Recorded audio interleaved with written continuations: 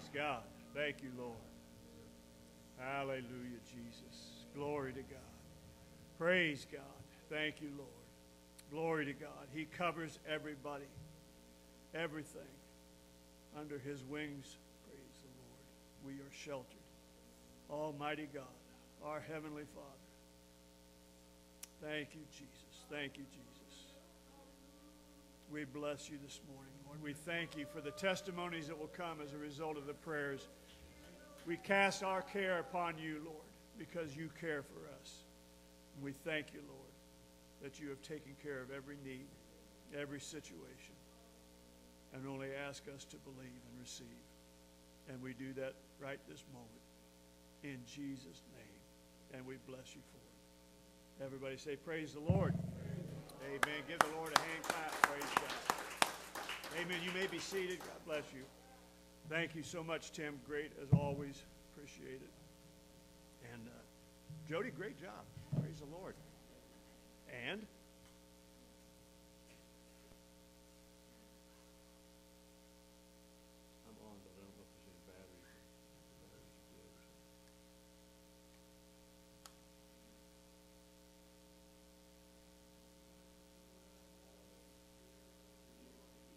It's showing it's lit up. If that means anything. It's showing the light is lit, so I don't know. Just, okay, praise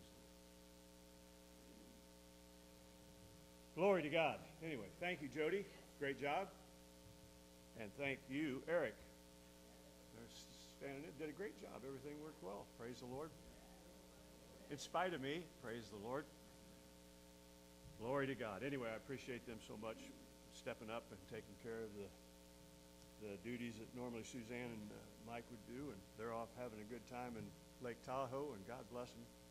They're having fun. I saw the, the view from their room, beautiful, mountains, and beautiful part of the country there. Place, great place to visit. Amen. So, praise the Lord. God bless all of you for being here. Appreciate uh, everyone's worship, your prayer requests, your testimonies.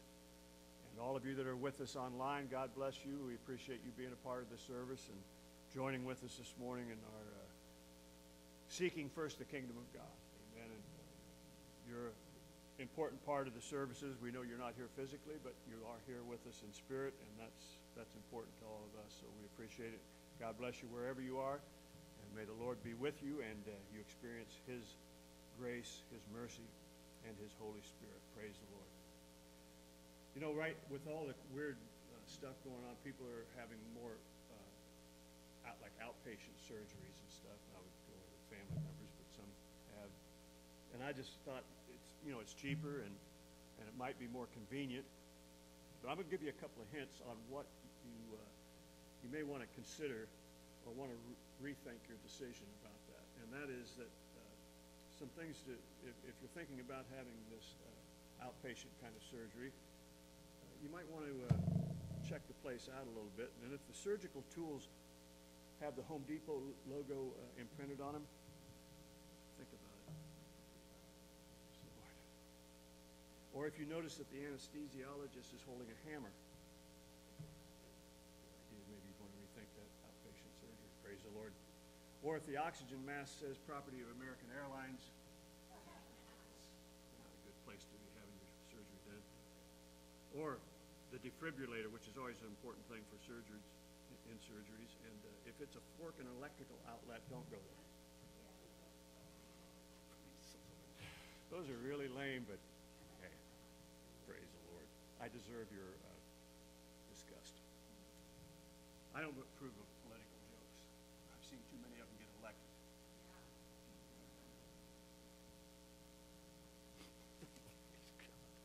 okay. Here we go. We'll simplify this. Knock, knock. Control freak. Con- how, okay, now you say control freak who?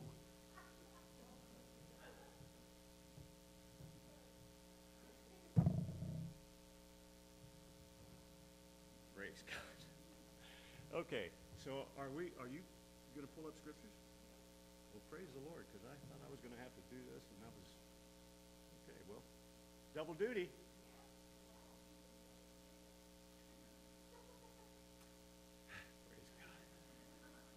My wife, but I know her skills. That's not one of them. Amen. And it's because it's not mine either. I mean, I, you know, my whole answer to everything I told Eric, they were asking questions. I said, Have you turned it off and turned it back on? Because that's all I know how to do. When it doesn't work, I shut it off, turn it back on, and hope something will happen while I had it off. Praise the Lord. So God is great, and I appreciate all the testimonies and the sharing that you did this morning because it does touch, as always, uh, just what I want to share with you this morning. And uh, let's begin with Hebrews chapter 6 and verse 1. And for the most part, I'm going to stay in Hebrews, although I will deviate to a couple of other uh, scriptures, but most of it's going to stay right in Hebrews. so I may repeat my, uh, uh, some of these scriptures, but it's so that we get it settled in our minds uh, and understand exactly what the Lord is saying. So in Hebrews chapter 6, verse 1,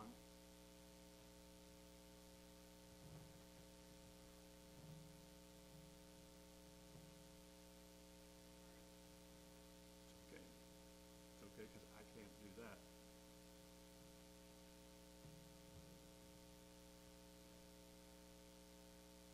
Therefore, let us leave the doctrine of Christ and go on to maturity, not laying again a foundation of repentance from dead works and of faith toward God. Let me repeat this now. Therefore, let us leave the elementary doctrine of Christ and go on to maturity, not laying again a foundation of repentance from dead works and of faith toward God. So now let's go to Hebrews chapter 9 and verse 14.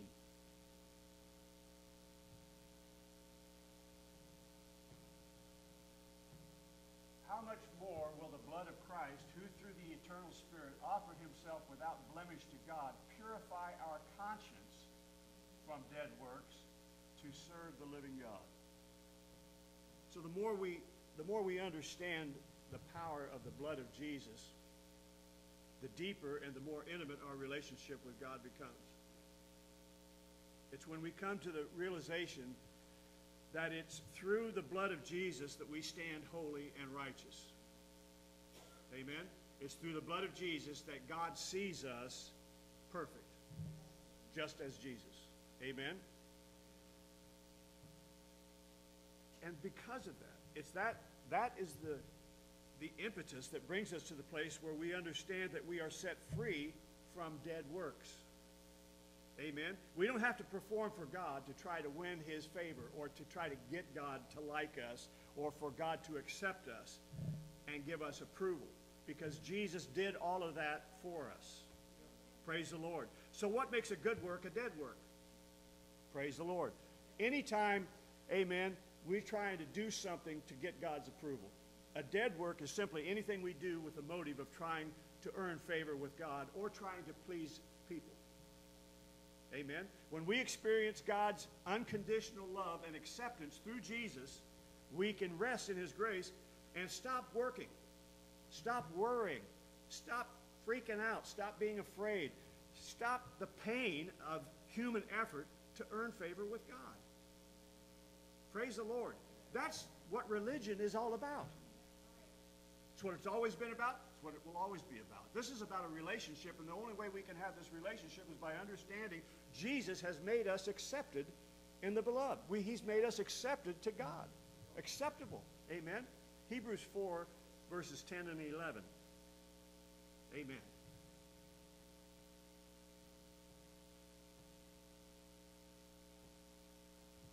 For whosoever, or excuse me, for whoever has entered God's rest has also rested from his works as God did from his. Let us therefore strive to enter that rest so that no one may fall by the same sort of disobedience. So the real true freedom and liberty comes when we finally accept the perfect atonement that's given to us through Jesus. There's absolutely nothing we can do to improve our right standing relationship with God. I mean, this is where so many people, young people, old people, religious uh, people of faith even, they get so hung up. They, they're so bound by their efforts and their, all the energy they're pouring into trying to make themselves perfect, not understanding that Jesus has already established our, our, our relationship, our right standing relationship with God. Hebrews 10 14. And this is a scripture, Hebrews 10:14. We'll be going back and forth over this throughout the message this morning because it's so critical. But Hebrews 10:14 tells us that Jesus has made us perfect. By, by a single offering, he has perfected for all time those who are being sanctified. That's us. Jesus, by one offering, that, that cross, that death, burial, and resurrection, that one offering of his blood has perfected for all times those who are being sanctified or set apart. That's us. For all, I mean, just if we just ever could grasp that one message, that one scripture, it would change everything in our lives. By one offering, he has perfected for all time those who are being sanctified. Praise the Lord. We are perfect. Now, listen to what I'm saying. Not in word or deed here on earth. And we all know that because we'd be hypocrites to say that that scripture is true if it, if it was literally speaking about our human function here on earth. We are perfect, but not in word or deed here on earth. But we are made perfect in the sight of God through the sacrifice of Christ. Amen. That's where we have to get the place where we can disconnect from the physical and connect to the spiritual. Amen. What got born again was our spirit. Our flesh didn't get changed at all. We have to even renew our mind to the Word of God in order to get our flesh to do anything that's in agreement with the Word of God. Amen. And so then we are able to enter into His holy presence. Why? Because He perfected us. And the way God sees us is just like Jesus. He opened the veil so that we could enter into the holiest of holies, so that we could come into the presence of God without any fear of of repercussions or, or, or God's uh, anger or frustration with us or anything else. We're able to enter his holy presence. Amen. We are made perfect instruments of worship. Praise the Lord. When we worship here, we are perfect, perfect worshipers because God accepts it as spiritual worship because we are spirits. We are born again. Look at, uh, in James 1 uh, 5, he says that spiritual knowledge, amen, he tells us uh, if you lack wisdom, if any of you lack wisdom, ask of me, and I'll give it to you, and upbraideth not. You know what that's what he's saying is if you if you uh, if you want to know, he's talking about spiritual wisdom there. If you look that up, the the meaning is spirit. So we're talking about if if anybody needs more spiritual understanding or wisdom, Ask me, and I'll give it to you, and upbraid you not, or not ridicule you, or judge you, or condemn you, or find fault with you. If you want more depth in your spiritual relationship with God, ask Him.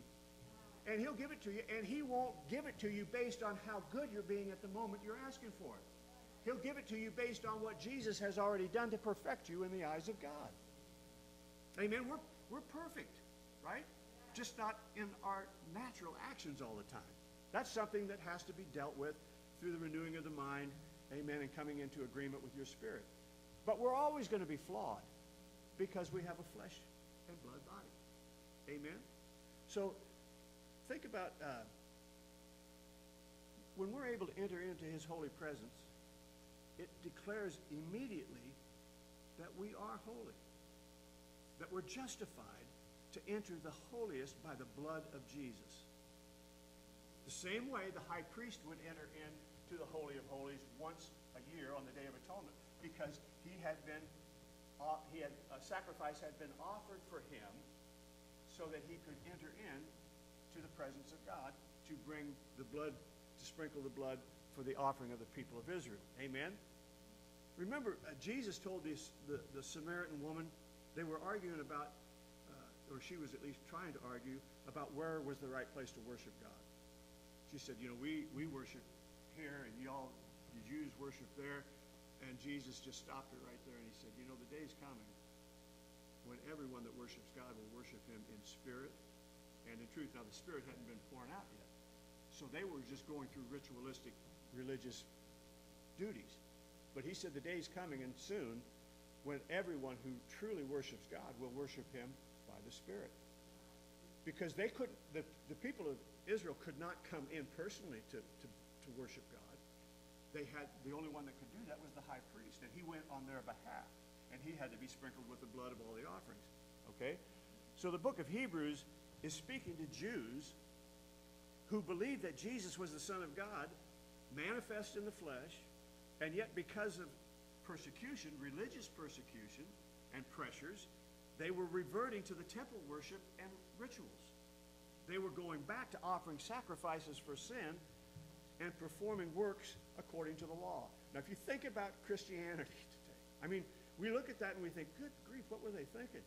I mean, they saw Jesus. Well, what, tell me, I mean, the truth is, what does religion do? It brings you, hopefully, to Jesus where you get born again. And then what does it do? It takes you right back to the law. It, it does the same thing that they were doing. Amen? But the blood of Jesus had made them accepted. The writer of Hebrews explains to them their works of the law are useless. Amen. They're dead works. So when they tell you, get rid of your TV, you know, whatever it might be, you know what I'm saying? If they tell you you've got to pray so many hours a day, you've got to do, I'm not saying don't pray. I'm saying praying is good, but you should be doing it out of a, your hunger for God or for your wanting to have the relationship with God, not for thinking that if I do this enough, then He'll like me or He'll, he'll, He won't punish me or something like that. Amen? So their works, their, those efforts, those physical things that we do are absolutely worthless. They are what the Scripture calls dead works. They're religion. And Jesus didn't come to give us a religion. He came to deliver us from the law, from the religion, to a relationship with Jesus. Now think about Adam and Eve. Adam and Eve were open and they walked with God every day. They talked with him. They didn't, they, they didn't realize they were naked. They were, they, they were innocent. They were still doing stuff that by the law would have probably been considered wrong or, or, or bad, but there wasn't any law. There was just the grace of God. So they had this perfect relationship until they listened to the lies of the devil. Then they acted on those lies, and what happened? They become afraid. Why? Because now they have a guilty conscience. Now they have a consciousness of sin, which they'd never had before. It wasn't that they had never sinned before, it was they had no consciousness of it. It's like a little child. They can be little brats, but they don't know they're being brats because they have no consciousness of right and wrong and good and bad, right? So we don't hold them accountable the way we would somebody that's 12 or 14 years old. And this is how God looks at us. We are innocent. We have been considered innocent in the eyes of God. He doesn't see our sin. He doesn't know that we ever had sin. He's able to do that. He's able to just block it out like it never existed, as far as the east is from the west, he says. Right? Look at this. Hebrews 9, 13 and 14. Hebrews 9, 13 and 14. And so the way religion is. For if the sprinkling of defiled persons with the blood of goats and bulls with, and with the ashes of a heifer sanctifies for the purification of the flesh, how much more will the blood of Christ, who through the eternal Spirit offered himself without blemish to God, purify our conscience from dead works to serve the living God? Purify our conscience from dead works to serve the living God. To get us back to that innocence where you just walk with God. You just don't have any fear of God. You don't have fear of anything else because you know God's there. He's going to take care of you. No consciousness of that act I just performed or that word that I just said is going to come back on me. It's going to come. It's going to, what goes around comes around. It's some kind of karma. That's BS. He's trying to get us back to the place where we have no consciousness of sin. Even when we fail, we're not thinking about the failure. We're thinking about his love for us. We're thinking about deliverance. We're thinking about what God wants to do in our lives. Amen? Blood of bulls and goats purified, and we just I just mentioned this a moment ago, it purified the flesh of the priest in order for him to enter the holiest of holies once a year on the Day of Atonement. But that blood didn't take a sin away. It didn't do away with the sin. Because the reminder of sin every year was, in fact, the same sacrifice had to be made again.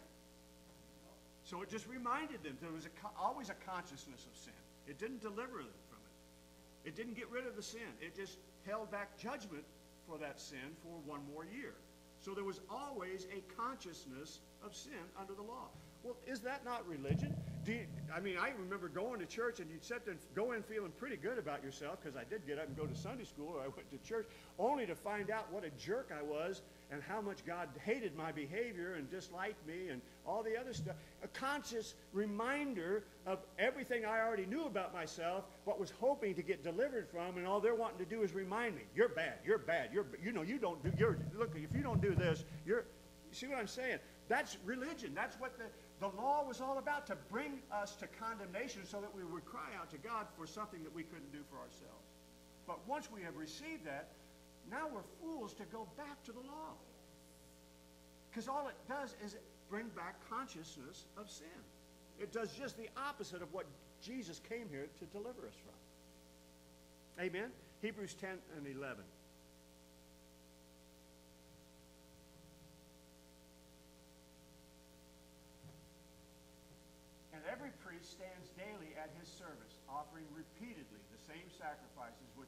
Take away sins, over and over and over, constantly. But the blood of Jesus cleanses the conscience of sin. Specifically, it cleanses the conscience from dead works. Amen? Which means we don't have to hear this voice inside continually telling us if you don't do this, if you don't do this, if you don't do that, then God won't be pleased with you. The Hebrews were mixing law and grace. Through their works of law, they were in effect trying to improve on what the blood of Jesus had already accomplished. That is religion in any form.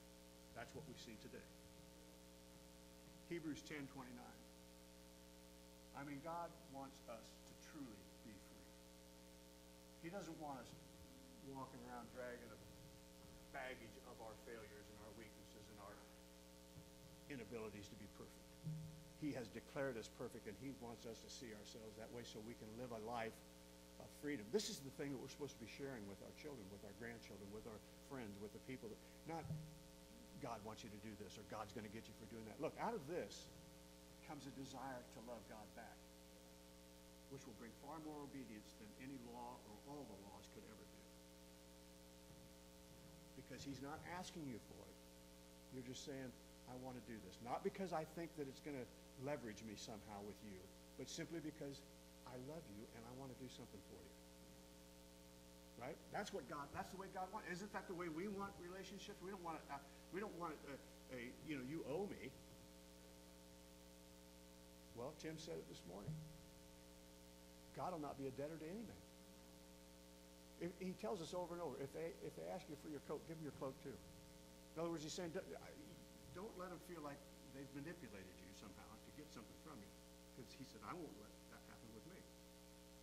So how much more punishment, how much worse punishment do you think will be deserved by the one who has spurned the Son of God and has profaned the blood of the covenant by which he was sanctified and has outraged the Spirit of grace? Now he's talking to Jewish people who had converted to Christianity, who had believed in Jesus. Amen. They were still Jews, they just weren't under the law anymore. And he's talking to them and he says, How much worse punishment do you suppose? Now they're thinking about the punishment that will come if I don't do this ritual, if I don't do that ritual. And he's saying, Look, that's nothing. How much worse would it be for you to think that you will be will be deserved by the one who has spurned the Son of God or rejected the one who can take away the need for all of that? Amen. And has profaned the blood of the covenant by which he was sanctified and has outraged the Spirit of grace. Thinking that, look, all you did, Jesus, wonderful, but it wasn't quite enough. You need a little help from me. I mean, how ridiculous. They were mixing law and they were mixing grace. They were trying to improve on what Jesus had done. And it couldn't get any better. It could not get any better. Hebrews uh, 4 and 12.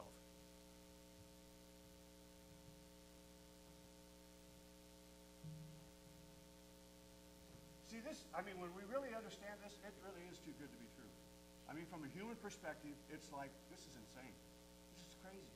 God's just giving this to us, even when he knows I'm going to screw it up. For the word of God is living and active, sharper than any two-edged sword, piercing to the division of soul and spirit, of joints and marrow, and the discerning of the thoughts and intentions of the heart. This is what Tim talks about all the time. If you think you're hiding your sin, you're crazy. You You might be, hide it, might be able to hide it from a neighbor, somebody down the street, but you're not hiding anything from God. He already knows, and He's already accepted you with all of that baggage. God knows your heart. He's able to discern between the thoughts and the intentions of the heart. This is like Don said about, uh, uh, uh, about Paul. What did Paul say? Well, my, my, my intentions are this, or my thoughts are this, but my intentions end up becoming something else. And it's a two-edged sword piercing to the division of the soul and the spirit, which is the brain and your hum, you know, your born again spirit. It's the, it's the conflict. And God knows the conflict.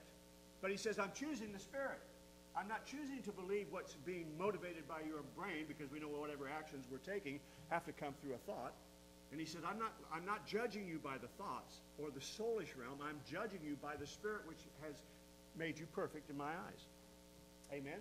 So the joints of the marrow, right? So the context of Hebrews chapter 6 through 10 actually is that anything we do motivated by trying to earn favor with God or with other people, amen, are dead works. That's where the dead works comes in.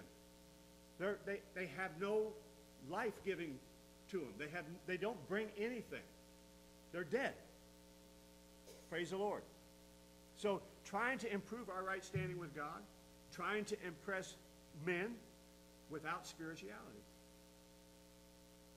or trying to show them how spiritual I am through some action, through some deed. And we hear it all the time. I heard a guy preaching this morning talking about all that he had done, you know, all this stuff that he had accomplished and everything. And I'm thinking, whoa, really? I'm not asking you to save me. All I need is point me to Jesus. I I'm not interested in everything about you. I mean, I understand sometimes our own lives, you know, we have to share things. But this was like, whoa, him and some other preacher that basically stepped up and made things work for Jesus. it's like Jesus needed him. Praise God.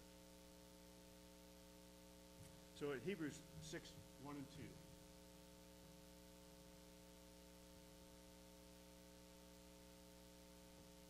We read this,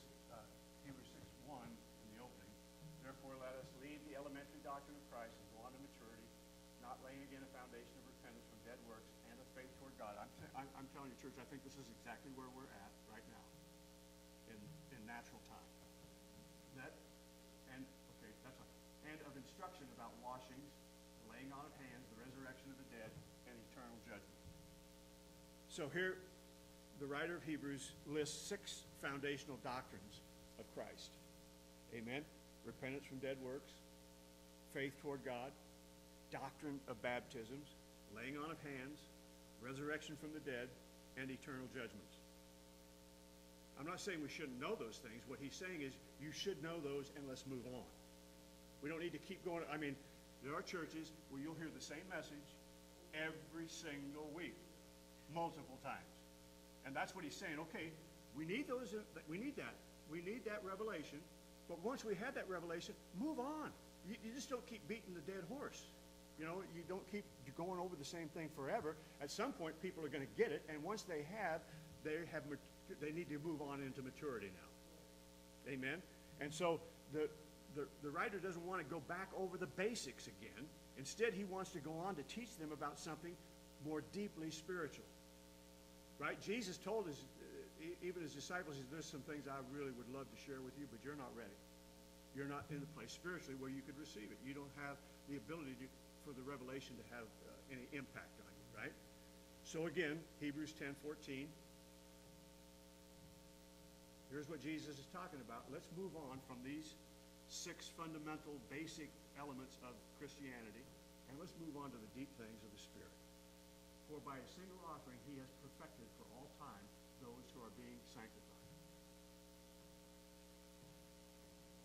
Perfection doesn't come through works. Perfection in the eyes of God comes only through the blood of Jesus Christ. Hebrews 6, 9, and 10.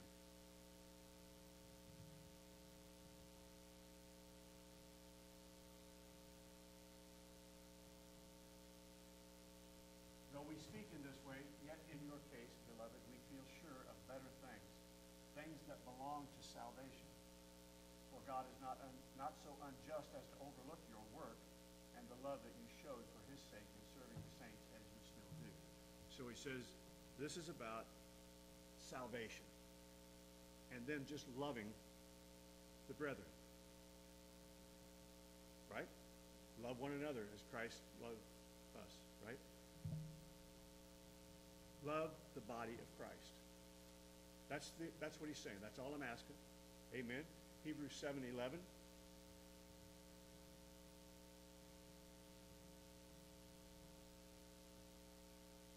Now, if perfection had been attainable through the Levitical priesthood, for under it the people received the law, so if perfection were attainable under religion, right, what further need would there have been for another priest to arise after the order of Melchizedek, rather than one name after the order of Aaron?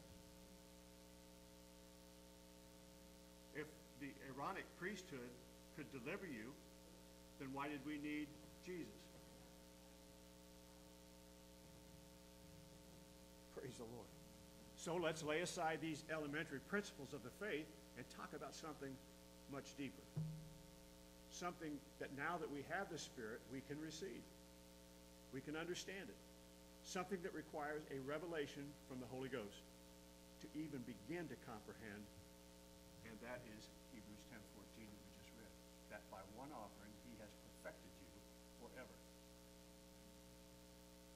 one offering those that are sanctified, those that are saved. That's what Jesus was telling them. Through the Holy Spirit, through the writer of Hebrews. You need the basics. You've got the basics.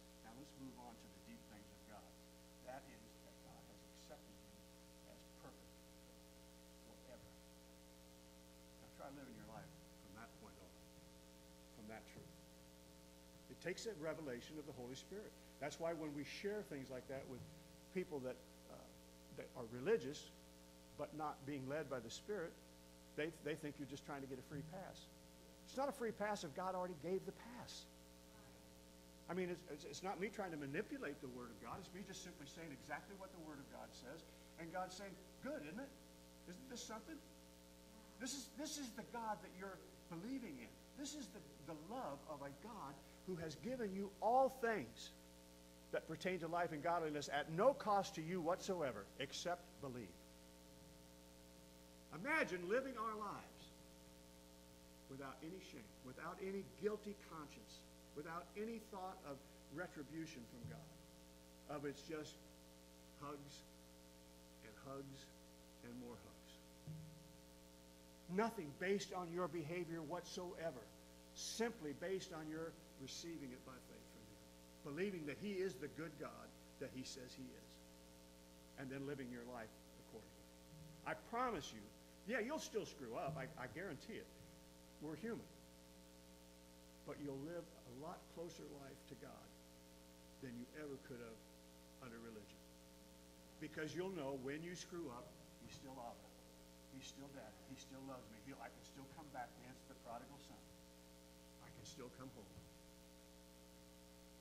Praise the Lord. John 15, uh, 4 and 5.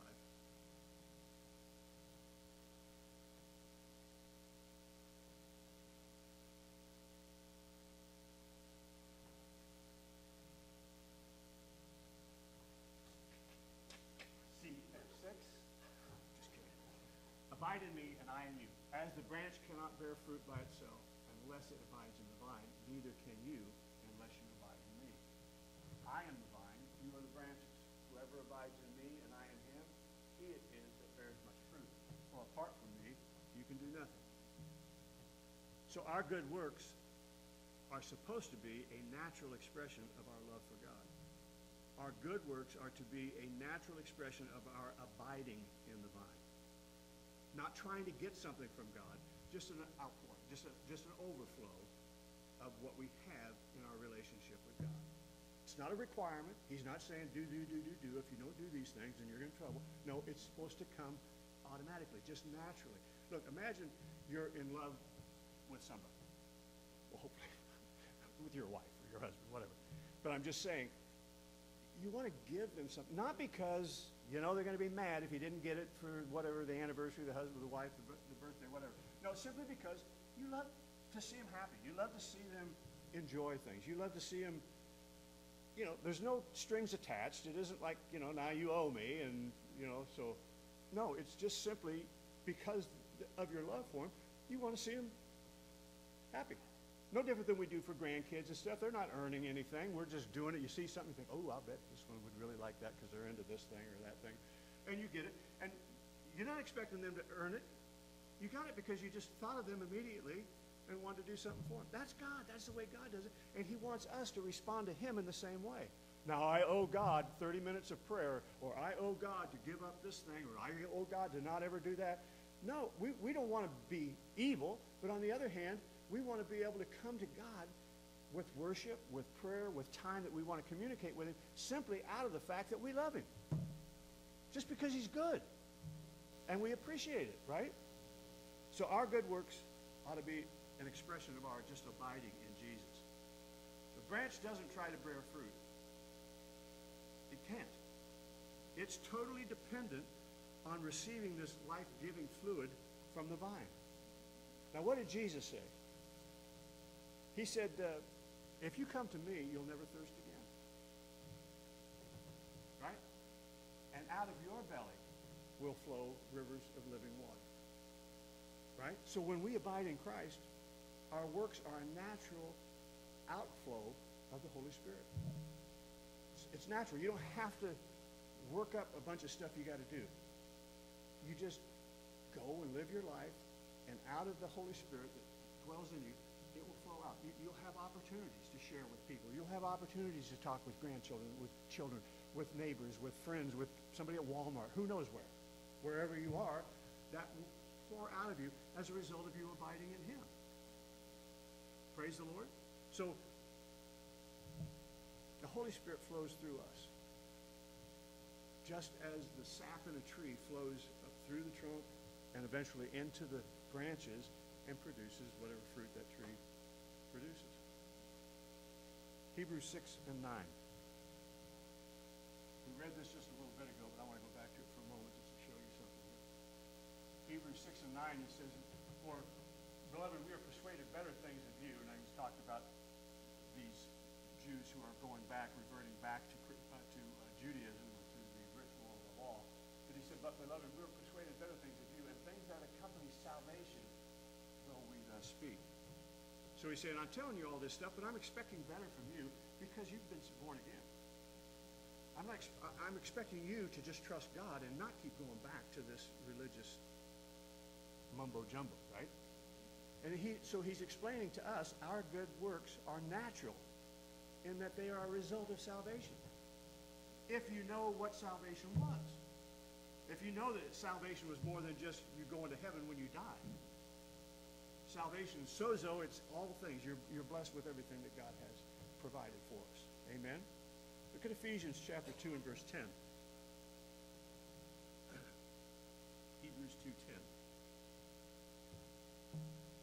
For we are his workmanship, created in Christ Jesus unto good works, which God hath before ordained that we should walk in them. God already knows what works he's got in you for you to do. But the only way for you to do them is by the Holy Spirit, by abiding in him If we abide in him as Jesus abides in the Father, uh, you know, when he was here on earth as a man, if we abide in him that way, then we will bear much fruit.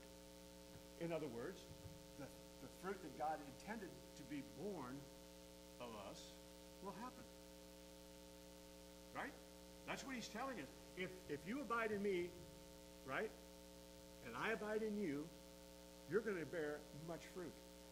Not because you're trying to bear much fruit, but just simply because of the fullness of what salvation has brought to you, the result is overflow. It's like Abraham. God said, I'm blessing you so that you can be a blessing. So he blesses us with grace and with all the goodness of God so that we can share grace and the goodness of God with everybody else. That's all. Just simple, right? 2 Corinthians 3.17.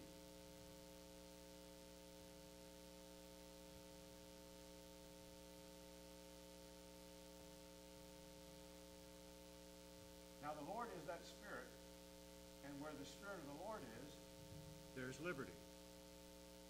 That, I mean, based on my coming through religion, that was like a contradiction. I mean, where the Spirit of the Lord is, there's liberty. We thought there was fear, place to hide, correction, you know. All right, Hebrews chapter 4, verses 10 and 11 again. So where the Spirit of the Lord is, there's liberty. We ought to be liberated. Amen? Liberated from what? From religion, from the rules, from the regulations, from the demands of the law. For he that is entered into his rest, he also has ceased from his own works. Why? Because they're dead works.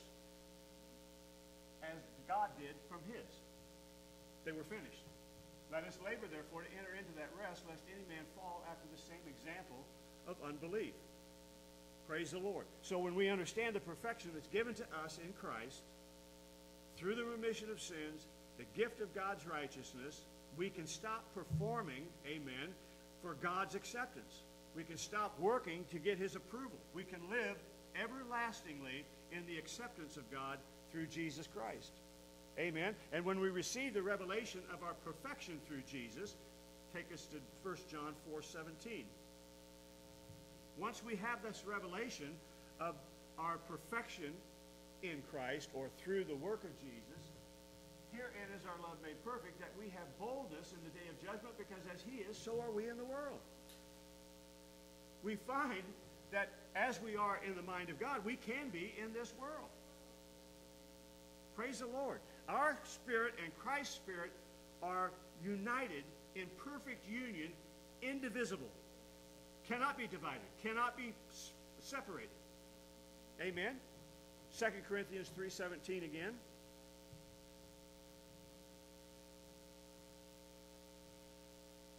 Herein is our love made perfect that we have now the Lord is that spirit. And where the spirit of the Lord is, there's liberty. Amen. When we walk in liberty, we walk in the spirit. We stop performing and we enter into God's rest, into the finished work. Hebrews 4:11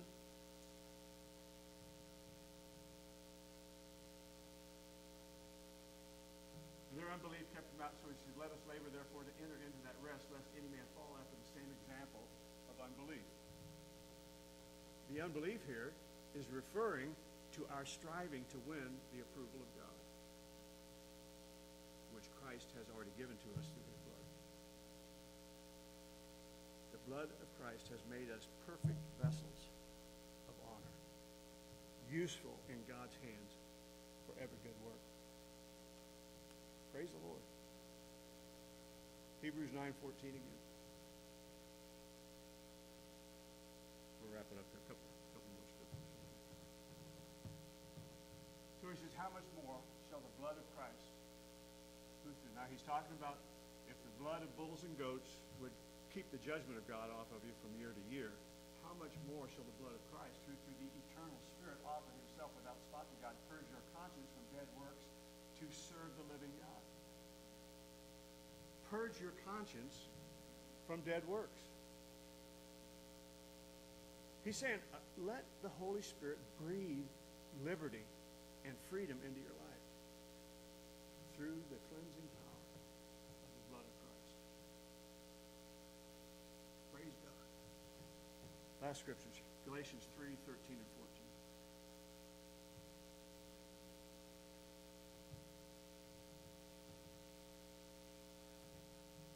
Christ has redeemed us from the curse of the law, being made a curse for us. For it's written, Cursed is everyone that hangeth on the tree. That the blessing of Abraham might come on the Gentiles through Jesus Christ. What was the blessing of Abraham? His faith was accounted to him as righteousness. Abraham screwed up just like we did. And yet God said, He's my man. He's my friend. You mess with him, you mess with me. I'm blessing him so that he can be a blessing. Everywhere his foot skips. Amen. The blessing of Abraham might come on the Gentiles through Jesus Christ, that we might receive the promise of the Spirit through faith. What is the promise of the Spirit? What did he say? where the Spirit is, there's liberty. Abram had liberty. He didn't know that the law didn't come for another 400 some years. All he knew was the love of God. All he knew was the liberty of God. I mean, he's, I mean, he does crazy stuff. And, I mean, even like after the, we've talked about this many times, but it just blows my mind to think about when Abram had given his sister, wife, to the Pharaoh, and the Pharaoh took her into his harem. Now, he didn't have relationships with her, but she was going through the process of being prepared for that. And God came to the Pharaoh in a dream and said, you let that, if you touch that woman, you're dead. You get her back to my prophet, or you're going to die. And the Pharaoh's thinking, the, your prophet, your prophet's the one that lied to me and said it was her sister, his sister, and took a bunch of money for her. That's your man? And God said, you turn her loose, and I'll have him pray for you. Now, I got to tell you, a dream like that come to me, I'm thinking that was right from the pits of hell. That came from, you know, that came from the pizza. Well, how could God say that? Because he saw Abram as perfect. Why? Because he believed God. And I'm telling you, when we look at these people, David, and over and over through the scripture, that's how God was dealing with. That's why David was a man after God's own heart, because he understood the love and the grace of God, even though he didn't live in a dispensation where it was available on the same level that it would be today. He believed that God was good and that God blessed his people. Tim says it all the time. Never seen the righteous forsaken